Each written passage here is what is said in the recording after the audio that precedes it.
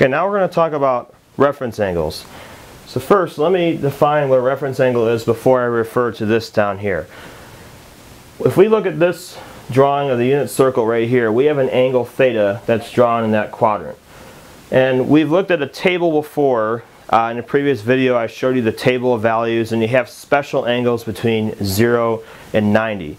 Well eventually what we're going to be getting into is we want to find sine, cosine, and tangent of angles that are not between 0 and 90 and we want to find out a way to do that. Our table is limited, it only goes up to 90 degrees.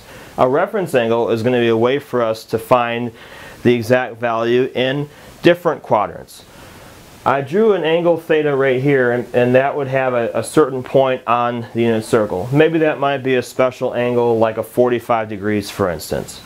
So with that being here, this part measured from the x-axis, that would still have a value of 45 degrees, but then it's down here in this quadrant. Now the relationship between those is if I were to draw a triangle and have a triangle connected just like this, I have one triangle drawn up there and another triangle drawn down below. Remember that the like the cosine value, that's the x value we talked about. The sine would represent, represent the y value. Now, the x value would be exactly the same in the first quadrant as it would be down below here. The y value, the value itself, the distance would be the same except the only difference is this one would be a positive y value and this one would be a negative y value. So that space in between there has the same numerical value but we just have a difference with a minus sign. So what a reference angle does, it says if we want to find the exact value somewhere else, not in the first quadrant, then what a reference angle does is it basically is an angle that would have the same numerical value as what it would be in the first quadrant. Again, uh, we're not taking into account the plus or minus signs, that's the actual numerical value. And that numerical value we can get off of our table. So we can take any angle in the other quadrants and we can always take it back to an angle that would be drawn in the first quadrant and that's what we're going to use reference angles for. So eventually we're going to be getting into finding the trig value any angle around the unit circle. So now we're not just limited to the first quadrant like we were before. So again, the table only goes up to 90 degrees. We want to be able to expand that and be able to do more. That's what the idea of a reference angle is. A reference angle uh, would take you always back to an angle in the first quadrant. So again, if I had an angle down here, the angle drawn in standard position would go all the way around to here. So that would be some angle between 270 and 360. But it would have the same numerical values as if I have an angle in the first quadrant between 0 and 90. So there are different ways that we can, different formulas that we're going to use in order to find the reference angle depending on which quadrant that you're in.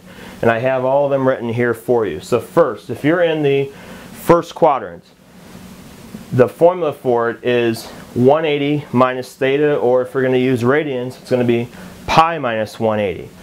What that does is it uh, allows you to find the measurement of an angle here. Now this measurement here, if I were to draw the line in the first quadrant, it would have the same exact y value and the x values would differ by a sign. But again, I'm take, it's taking us back to an angle that would be equivalent to 1 in the, the first quadrant. And you find that by using the formula, 180 minus your theta. Now the reference angle is labeled here on all three pictures. And what you notice is the reference angle is the measurement from the where the angle ends to the closest x-axis. And we have it here, we have it there, and we also have it on this one. All of them are measured from the x-axis and they have these certain formulas.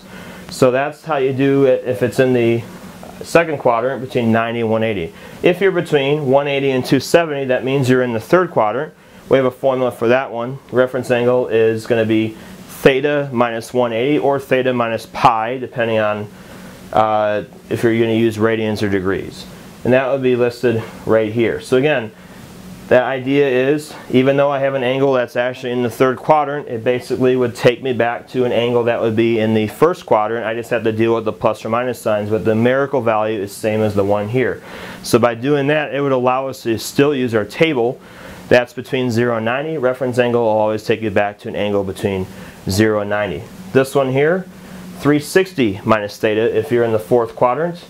Going all the way around to here would be the regular angle, and this little one measured to the closest x-axis, that would be your reference angle. And that right here would kind of correspond to the original picture I drew there. The reference angle may be uh, an angle that's more than 270, between 270 and 360. However, the, the value measured from the x-axis here is the same measure from the x-axis there. So it's going to have the same numerical value as if it would have been in the first quadrant.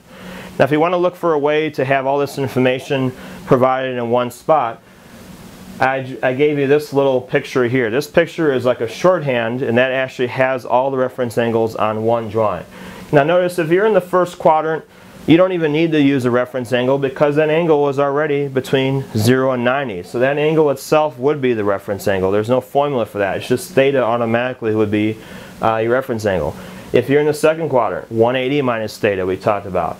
If you're in the third quadrant, theta minus 180 degrees. And if you're in the last quadrant, 360 minus theta, 360 degrees. So that would be give you a, a picture that shows again where all the, depending on which quadrant you're in, it'll give you the reference angle. So the idea here is what they'll give you, they're going to give you an angle, and if they're going to, they want you to find the reference angle. These are the problems that we're going to be talking about next.